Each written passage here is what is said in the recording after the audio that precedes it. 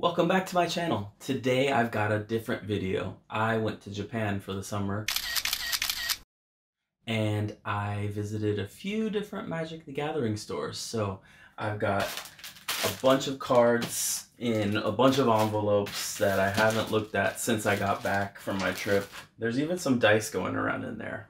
We went to Hareruya and um, just like so many of the big Magic the Gathering sites. And a few of the stores even had their own dice. It was great. I've got a collection of friends here with me. I have to unfortunately give most of them away. Not the figurines, but the plushies. Eh, I know they're cute. But um, yeah, basically I was sorting through bulk bins and my wife was helping me. She was putting all the English cards in front so I could read them quickly. And in within these little bags and paper envelopes, there are receipts and goodies and all sorts of things that I'm going to open up and surprise myself because I forgot what I bought. And uh, yeah, I think overall it was probably a one to one, but the cards felt like they were cheaper than they should have been. So I was just like, yeah, let's let's get them. They're vintage, they're cool. I don't have to pay for shipping, and it was a whole fun experience. So um, let's let's dive in and see what what I purchased. All right, so we've got boxes of things and dice or bags or whatever. These are the Hareruya dice with the, the logo on it. I know that sounds funny, but that's the way it's spelled with an H and an R. All right, so let's go into the big bag here first. What we got. So, okay, there's some dice there. They have these like raffle things at the at the what do they call them the Konbini 7-Elevens and Family Marts and Lawson's, and uh, you spend like seven bucks and you get a raffle ticket and then you get a prize. So we got this uh, Winnie the Pooh. Um, not sure what it does. Holding cloth towel thing. All right, now to the cards. Okay, so we also went to a store that sold sleeves and it was cheap. There was like one buck and you get all these holographic sleeves with like little shimmery spots on it. So that was cool. And then this is Rankle Master of Pranks. I wanted to give this as a gift to my friends that I met in Japan, but I forgot it at the hotel. So sorry, friends. All right, put that over there. Um, what's this for? To know. B something. Spent some money there. There's this for another thing. Probably not good to show all these off. Alright, these are the sleeves with the little foiling in them. Pretty cool. Cheap. That was a fun little thing. Alright, now for one of the big bulks. So yeah, they just, we walked into a bunch of stores and asked them where their magic stuff was. And of course, they had every other card game in there. It was like Yu Gi Oh! to the max, Pokemon to the max, and some of them had pretty good magic bins because I guess they qualified as WPN stores to get promos and such. So I'm going to give these to my friends, a few of them at least, because I got some um, staples in here so by the time you've seen this video, or they've seen this video at least, they're gonna have the cards. Yeah, Unfinity, just like really interesting things that I don't necessarily need a tra uh, translation for. And like they had even borderless cards. It was great. That this is just a cool land. I had to pick it up. These they were like 30 cents and that at half price was like 15 cents for all the bulk things. I got excited about these rebecca uh, gay showdown cards standard showdowns. This one has a big like misprint or a ripple in the foiling down the center. But anyway i, I thought they were like the very special ones that were worth like 40 each. So i was like oh i'm snatching all those up. There's another, the other of the wrinkles. Well i don't need to separate these is this a foil Fyndhorn Elves? Yep. And Kodama's Reach. See, I can kind of identify them, but I, it would be really difficult for me to do so if I was um, This is an etched foil Patriarch's Bidding. If I was, you know, gonna identify them in a few years, like, what card is that? Who knows? So these were all the like cheap 30 cent cards, and then other ones had like uh, prices on them. And this was a, I don't, I forgot what they're called, Galaxy Foil from Unfinity. So I was like, oh, I'll pick up those. I like those cards. Here we go Swiftfoot Boots, Serra Angel, Arbor Elf. What is this? A store championship promo? Cool. See, I don't even remember. Oh, and um forget it, but like it doubles the damage to your opponent things. I don't know. It's like it used to be a 20, 30 buck card. Now it's like 25 cents. Ghalta, nice. Acidic Slime, always good. Oh, Umbris Fear Manifest. I thought I got this in English. Okay, so this is this was a very hard card to get. I actually have this commander, so I think this will just be like a, a bling little thing to put out the second or third time my commander gets uh, killed. More of the standard showdown cards. Dawn of a New Age, foil mythic from Lord of the Rings. Elven Chorus, that's a really good card. Swiftfoot Boots in the um, you know, whatever that was. Boja, great. Japanese version, 50 cents. I'll take it. Um, yeah, that.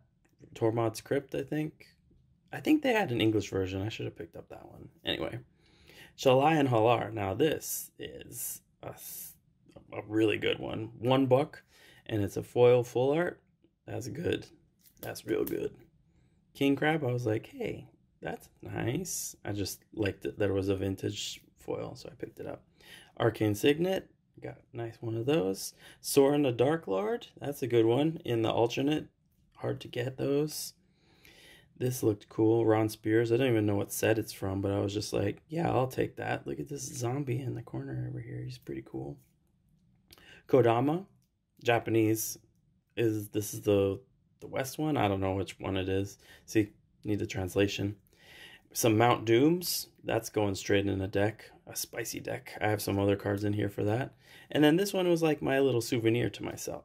Uh, it was a foil date stamped Wanderer promo. The guy who was uh, help checking us out like actually Googled this one to see if it was worth anything more. I guess because it had that gold thing and you know he could read it and he saw the anime on it. So um, yeah, I, I thought this was a pretty cool little pickup. So, okay. Oh, so I guess the thing that said big on it was one of the stores, this big magic card shop. Is this from there too? Yes, it is. So this place was in Osaka, and that was one of the first places I found with a bulk bin. So I really was like excited just to like be in a new place and get some cool cards from there. So yeah, I, I think uh, Gray Merchants of Asphodel, Professional Facebreaker, Snap, this is not foil. Uh, Tinker, Arcane Signet. Is that a foil one? It is foil. Remand. Yeah, that's a good counterspell. Gush. You know. Oh, a 30th edition anniversary card. Like a rare Merfolk of the Pearl Trident. Let's take it out and look at it. That's that's pretty cool. Like, no one wants to support that, but I've, I've got one just as for posterity, basically. what else? Ceasefire, Old Border Foil. Can't really get those too easily. 25 cents. Why not? Willbender, Friday Night Promo. I use that in my Morph deck, so I might swap him out. Lightning Rift as a promo. It's pretty cool. 25 cents. Backslide. I use that in my Morph deck too. It's a old border foil. It's going in there. And then I just saw some like what are these? Um, Fallen Empires cards, so I picked those up. 25 cents. Utopia Sprawl, Enchanted Forest. Ooh, I have the other version of that. Um, I think I'll swap it for this artwork. I have no idea what this was. Actually, I think Bianca really liked it, so we picked it up. Goblin Firebug, Goblin Turncoat. Yeah, just old border foils. They're cool. More of those. A Dark Ritual.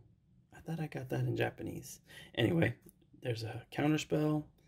Oh, Fear. Is it? I think so in Japanese. An Italian Llanowar Elves. Why not? Glimpse the Impossible. I just like this artwork. Uh, Justine Jones is really cool. Oh, I think this were the cards right behind here that we had them pick out specifically. Yes, for the deck that Bianca wrecks me with every time, she got another Royal Assassin in Japanese that no one will know. And a Dragon's Approach deck, which is spicy tech for my new commander deck that I'm building. These are the dice from Big Magic. I really like them because of the color, but also they had their logo on it, which was this dude with an afro. Oops, bumped the camera. This dude with an afro. Look at him. He's so happy with sunglasses on. It's great.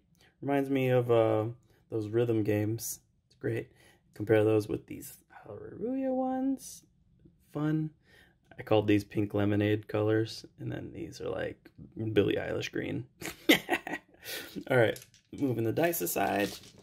What else? What else? Okay, we've got these there. These are special as well over here, but those are mainly gifts. Oh, this was fun. We went to a, we found a mall in Tokyo, and that's where I got these ones. Insatiable Avarice, the tutor card, 150, not bad. Amphin Mutineer, 30 cents. Take that all day. 10 cents for that. Cryptic Coat, need that for my morph deck, and it's a full art one. Thank you very much. Put those here. And what are we th getting thanked for here? This must be from another store with bulk. Let's see. Oh, these are the Hareruya cards that they pulled, isn't it? Yep. There we go. Hareruya. Let's see what I got from there. What is this here? I don't know what this is token, a knight token. That's cool. That's real cool. Well, thanks for that inclusion. Oh, these. I was really excited to see these. Noxious Ghouls. They were spiking in price when the Zombies Commander deck came out. And these are the original ones from Legion. So I was like, may as well get a playset of those. Not a playset? Where's the third? Where's the fourth one? I only got three. Oh well. And Seizan, Perverter of Truth.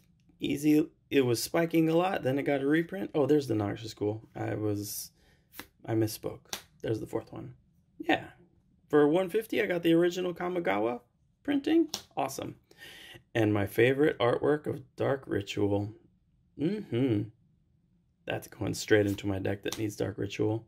Of course, I had to pick up like a revised or fourth edition copy as well. Pretty. And then this awesome Sol Ring from the Black Commander product. Got that. Fountain of Youth with the Dark card. You don't hardly see those, you know. Contagion from, yeah, whatever that was. One of the Four Horsemen sets. The artwork on this is just beautiful. Look at this cat. It's like so creepy. Where's pupils? Great. Anyway, one of those pay life exile a card from your hand cards. And this one, Leshrac Sigil. Look at that. That is, someone spent a lot of time making that art. Well, Drew Tucker did. That for 50 cents? 100 yen? Great. And these last ones, these are one piece cards. So I got these initially as a gift for my friend who likes one piece. But I had to consume two pieces of chicken to get one piece card if that makes sense.